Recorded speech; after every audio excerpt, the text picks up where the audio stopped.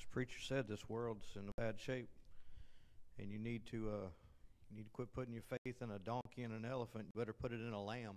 Yes, sir. Because that yes, lamb sir. became a, a lion, and he became a king.